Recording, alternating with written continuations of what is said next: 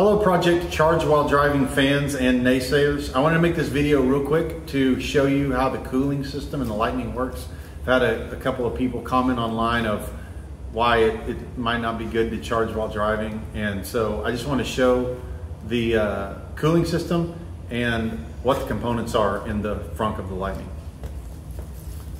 So this is the frunk area of the Lightning. And what we've got right here is the DC-DC converter that's essentially the alternator of the truck. It takes high voltage DC power here and outputs 12 volt power over here. So this keeps the 12 volt battery charged while, you know, under all conditions, while it's the vehicle's off and charging or while the vehicle is driving.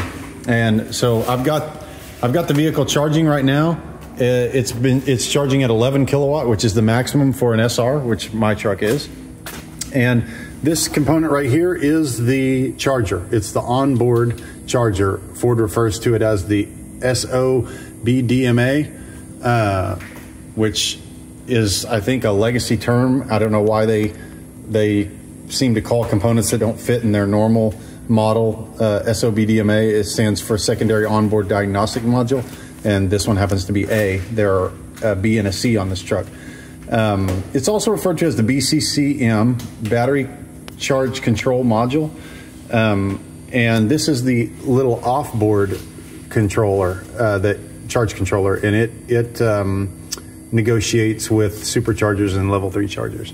So right now, I've got the uh, I've got a um, thermal camera here. I'll turn it on, but I'll talk a little bit about while the uh, how the wiring works. So the, the charge port's up here, the power comes in, it, it comes right down here into the AC power, into the um, onboard charger.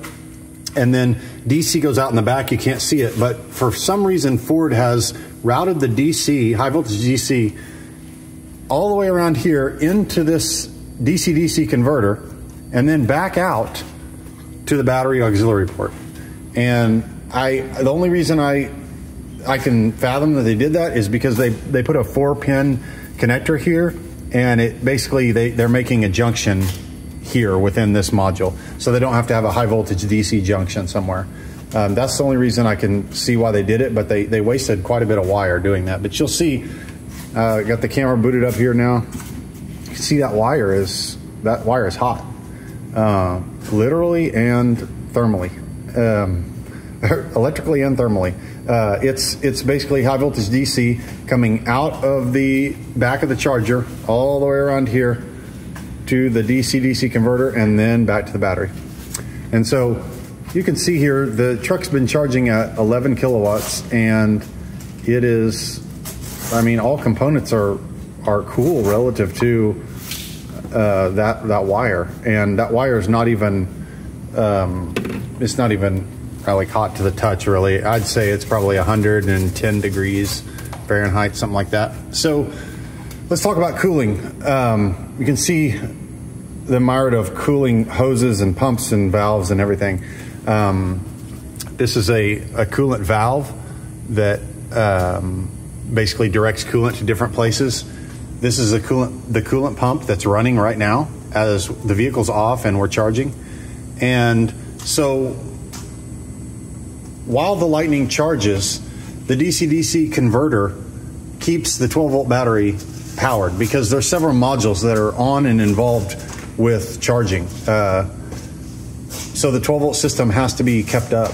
And as you can see, the routing of the cooling here, this line, which is a coolant line that goes into the DC DC converter, goes straight into the onboard charger.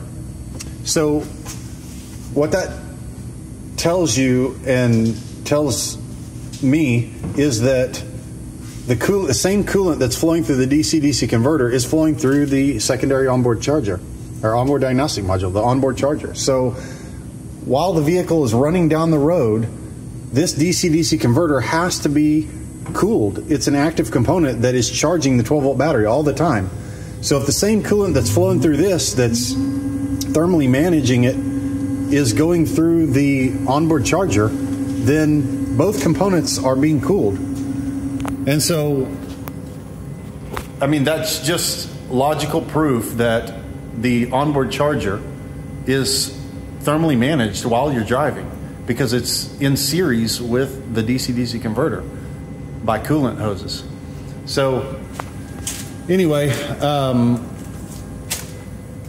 I won't talk anymore about the charge while driving project uh, on this uh, video, but we've got the DuroMax 16 kilowatt generator and I have been uh, testing with it already and it's awesome.